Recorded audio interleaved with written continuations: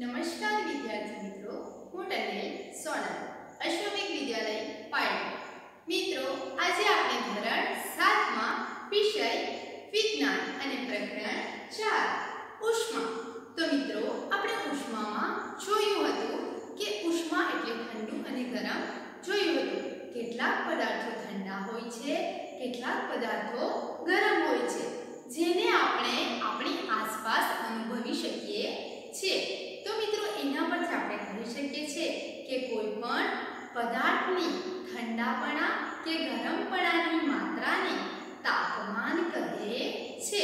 ફરી એકવાર કે કોઈ પણ પદાર્થની ઠંડાપણા કે ગરમપણાની માત્રાને તાપમાન કહે છે. આપણે અહીં લખશું.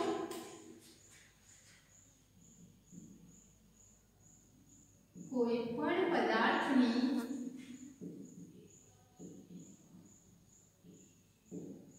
ઠંડાપણા કે ગરમપણા, ઠંડાપણા કે ગરમપણાની માત્રાને માત્રાને તાપમાન કહે છે.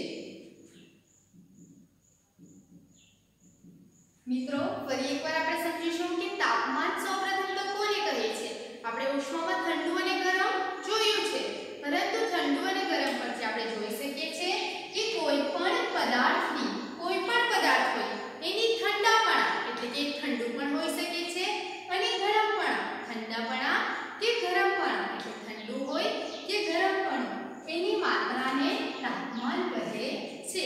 તો મિત્રો, કે કોઈ પણ પદાર્થની ઠંડાપણા કે ગરમપણાની માત્રાને આપણે તાપમાન કહેશું તો આજનો આપણો ટોપિક છે કે તાપમાનનું માપન તાપમાન તો આપણે જોયું કે તાપમાન કોને કહે છે કે કોઈ પણ પદાર્થ કે ઠંડુ હોય કે ગરમ હોય એની માત્રાને આપણે તાપમાન કહીએ છીએ પરંતુ તાપમાનનું આપણે માપન કઈ રીતે કરી શકીએ છીએ કયો પદાર્થ કેટલો ઠંડો છે અને કેટલો ગરમ છે એ આપણે કઈ રીતે કરી શકીએ છીએ એ આજે આપણે જોઈશું કે તાપમાનનું માપન તો મિત્રો આપણે પહેલા જોઈએ કે તાપમાન માપવા માટેના સાધનને થર્મોમીટર કહે છે તાપમાન માપવા માટેના સાધનને શું કહે છે થર્મોમીટર કહે છે અહીં લખશું આપણે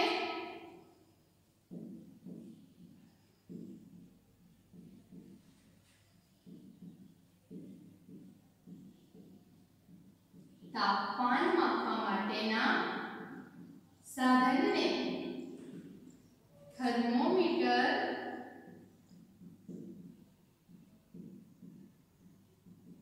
કહે છે. કે તાપમાન માપવા માટે જે સાધન વપરાય છે એને શું કહેવામાં આવે છે? તો એને થર્મોમીટર કહેવામાં આવે છે. આપણે અહીં યાદ રાખશું કે તાપમાન માપવા માટેના સાધનને થર્મોમીટર કહે છે. તો શરીરના તાપમાન થર્મોમીટર, જેમ કે ક્લિનિકલ થર્મોમીટર અથવા તબીબી થર્મોમીટર કહીએ છીએ. શરીરના તાપમાન માપવા માટે વપરાતા જે થર્મોમીટર હોય છે, એને ક્લિનિકલ થર્મોમીટર અથવા તો તબીબી થર્મોમીટર કહી શકીએ છે આપણે લખશું. શરીરના તાપમાન, શરીરનું તાપમાન માપવા માટે નું સાધનને શું કહે છે? શરીરનું તાપમાન માપવા માટેના સાધનને ક્લિનિકલ થર્મોમીટર શું કહે છે?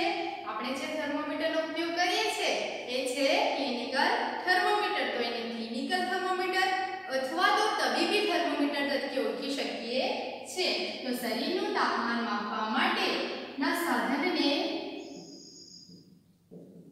ક્લિનિકલ થર્મોમીટર અથવા તબીબી થર્મોમીટર કહે છે. તો મિત્રો આપણે આજે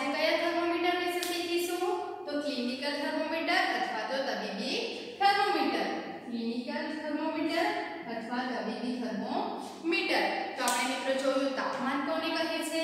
તાપમાનનું માપન કયા સાધન થાય છે? તો થર્મોમીટર. તો શરીરનું તાપમાન માપવા માટે જે થર્મોમીટર વપરાય છે, તેને આપણે ક્લિનિકલ થર્મોમીટર અથવા તબીબી થર્મોમીટર કહી શકીએ છીએ. હવે જોઈએ તો ક્લિનિકલ થર્મોમીટર. તો મિત્રો, અહીં ક્લિનિકલ થર્મોમીટરની આકૃતિ અહીં દર્શાવવામાં આવી છે. તમે અહીં જોઈ શકો છો. તો આ છે ક્લિનિકલ થર્મોમીટર અથવા તો તબીબી થર્મોમીટર.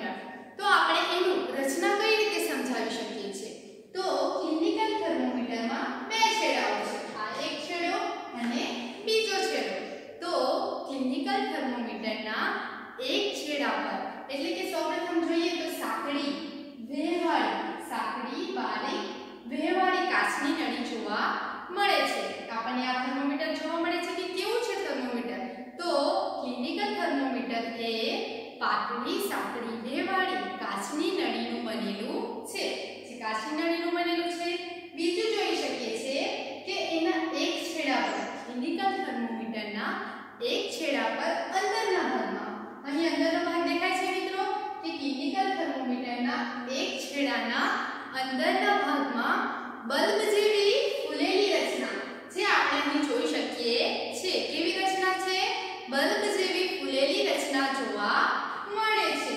તો આ છે બલ્બ જેવી ફૂલેલી રચના એમાં મર્ક્યુરી ભરેલો હોય છે આપણે અહીં જોઈ શકીએ છીએ કે એમાં શું ભરેલું હોય છે તો મર્ક્યુરી ભરેલો હોય છે ત્યારબાદ બલ્બ જેવી રચનાની બાજુમાં આપણને જોવા મળે છે ખાંચ શું છે આ ખાંચ તો આ ખાંચનો ઉપયોગ શું છે કે મર્ક્યુરીને અટકાવે છે મર્ક્યુરીને ઉપર નીચે જતો અટકાવે છે, એટલે કે નીચે જતો અટકાવે છે. તો આપણે ખાંચને જોઈ શકીએ છીએ, અહીં આ દર્શાવ્યો છે ખાંચ આગળ જોઈએ મિત્રો, તો અહીં પારો ભરેલો હોય છે. તો આ જે મર્ક્યુરી હોય છે, તે અહીંથી અહીં પારો એટલે કે મર્ક્યુરી તો મિત્રો અહીં આપણે જોઈ શકીએ કે એક છેડો કેવો હોય છે તો એક છેડા પર અંદરની બાજુ બલ્બ જેવી ફૂલેલી રચના હોય છે એમાં બલ્બ જેવી ફૂલેલી રચનામાં મર્ક્યુરી ભરેલો હોય છે ત્યારબાદ એની બાજુમાં ખાંચ જોવા મળે છે આગળ આપણે જોઈ શકીએ છીએ કે બીજો છેડો બીજો છેડો અહીં સીલ કરેલો છે પર બલ્બ જેવી ફૂલેલી રચના છે. બીજો છેડો એ સીલ કરેલો છે. ત્યારબાદ આપણે જોઈ શકીએ છીએ કે એની બહારની સપાટી પર, બહારની સપાટી પર આપણે આ અંકો જોવા મળે છે. જેમ કે 35 ડિગ્રીથી 42 ડિગ્રી સુધીના અંકો આપણને ક્લિનિકલ થર્મોમીટરમાં જોવા મળે છે. આ માપ ડિગ્રી સેલ્સિયસમાં છે કેટલાથી કેટલા અંકો જોવા મળશે મિત્રો તો 35 ડિગ્રી સેલ્સિયસથી 42 ડિગ્રી સેલ્સિયસ સુધીના અંકો આપણને અહીં જે નળી હોય છે એના ઉપરના ભાગમાં આ અંકો દર્શાવેલા હોય છે ત્યારબાદ આપણે જોઈ શકીએ છીએ કે 37 પર આપણને લાલ તીર જોવા મળે છે અહીં દર્શાવ્યું છે કે 37 અંક પર લાલ તીર જોવા મળે છે તો મિત્રો એના ઉપરના ભાગમાં અંકો દર્શાવેલા છે 35 ડિગ્રી થી 42 ડિગ્રી સેલ્સિયસ સુધીના અંકો છે 37 ડિગ્રી સેલ્સિયસ લાલ તીર હોય છે ત્યારબાદ નીચેનું જે માપક્રમ છે કે 94 થી 108 94 થી 108 એ આપણા જે આપણે તાપમાન માપવા માટે ઉપયોગમાં લઈએ છીએ, એ હાલમાં ડિગ્રી સેલ્સિયસમાં આપણા શરીરનું તાપમાન માપવામાં આવે છે. જે ચોરાણુંથી અહીં એકસો આઠ સુધીના અંકો છે, એને આપણે ફેરનહીટ તરીકે ઓળખીએ છીએ. ચોરાણુંથી એકસો આઠ સુધીના અંકો એટલે નીચેનું માપક્રમ જે ફેરનહીટમાં આપેલું છે. પરંતુ આપણા શરીરનું માપમાન, તાપમાન આપણે ડિગ્રી સેલ્સિયસમાં માપીએ છીએ. તો આ રીતે એની રચનાઓ સમજાવી શકાય છે. ફરી એકવાર આપણે ચર્ચા કરીશું કે આ છે કેમિકલ થર્મોમીટર. એક છેડા પર બલ્બ જેવી રચના જોવા મળે છે. ત્યારબાદ સાંકડી, વેરવાળી, કાચની નળીનું બનેલું છે સૌપ્રથમ તો એ. એક છેડો એ બલ્બ જેવી ફૂલેલી રચના છે. બીજો છેડો એ સીલ કરેલો છે. જે બલ્બ જેવી ફૂલેલી રચના છે એની બાજુમાં આપણને ખાંચ જોવા મળે છે. ત્યારબાદ અહીં આ છે પારો મર્ક્યુરી ત્યારબાદ 37 નંબર પર એટલે કે 37 નંબરના અંક પર આપણને લાલ તીર જોવા મળે છે શરીરનું તાપમાન એ ડિગ્રી સેલ્સિયસમાં મપાય છે જ્યારે ફેરનહીટ એ પહેલાના સમયમાં ઉપયોગ થતો હતો તો મિત્રો ક્લિનિકલ થર્મોમીટરની રચના સમજાવો એવો પ્રશ્ન થાય તો તમે આ રીતે લખી શકો છો. ત્યારબાદ આપણે એનું કાર્ય જોઈએ કે કાર્ય શું છે? તો સૌપ્રથમ કે આપણે જ્યારે એનો ઉપયોગ કરીએ છીએ, ત્યારે એ 35 ની નીચે હોય એની ખાતરી કરી લેવી. કે 35 અંકની નીચે હોય એ ખાતરી કરી લેવી જરૂરી છે. ત્યારબાદ એને આપણે મોઢામાં મૂકવામાં આવે છે. મોંમાં મૂકતા જીભની નીચે મૂકવામાં આવે છે ત્યારબાદ એક મિનિટ બાદ એક મિનિટ બાદ એને મોંમાંથી કાઢતા એનું તાપમાન આપણને આ થર્મોમીટરમાં જોવા મળશે. તો આ રીતે આપણે માપન, એટલે કે તાપમાનનું માપન, શરીરના તાપમાનનું માપન આપણે કરી શકીએ છીએ. તો આ રીતે આજનો ટોપિક હતો આપણો, કે તાપમાનનું માપન. તો એમાં આપણે શું શીખ્યા મિત્રો? કે પહેલું તો તાપમાન એટલે શું? તો આપણે આપણે કહ્યું હતું કે કોઈ પણ પદાર્થની ઠંડાપણા કે ગરમપણાની માત્રાને તાપમાન કહીએ છીએ તાપમાન માપવા માટે થર્મોમીટર સાધનનો ઉપયોગ થાય છે. શરીરનું તાપમાન માપવા માટે ક્લિનિકલ થર્મોમીટર અથવા તો તબીબી થર્મોમીટર વપરાય છે. એની રચનાઓ અહીં આપણે સમજી અને ત્યારબાદ એના કાર્યો પણ જોયા. તો મિત્રો, અહીં તમને તાપમાનનું માપન વિશે સમજ પડી હશે.